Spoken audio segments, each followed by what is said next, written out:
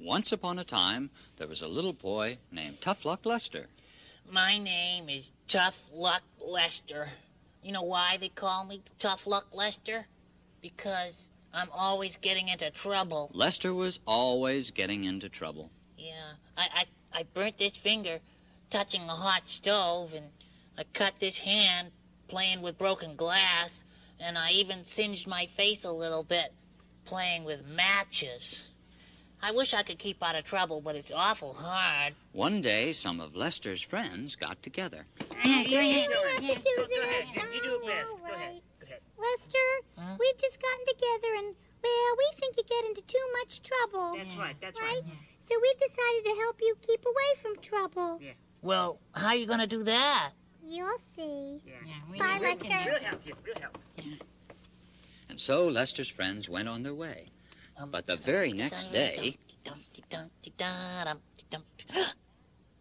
Some matches.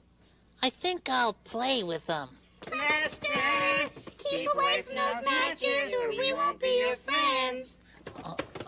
Okay, fellas. Uh, okay, uh, I'm away from them, see? so Lester said he would keep away from the matches. And the day after that, Some broken glass. I'll bet I can build something with that.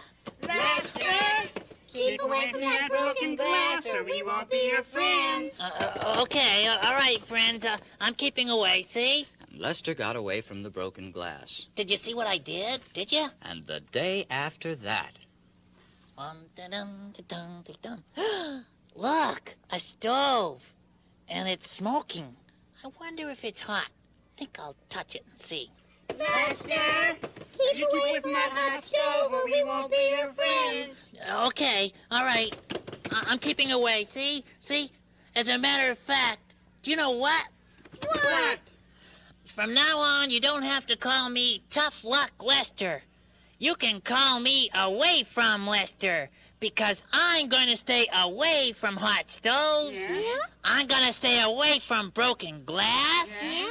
And I'm going to stay away from matches. Oh, good. And I'm to stay close to my friends. and so Lester and his friends lived happily ever after.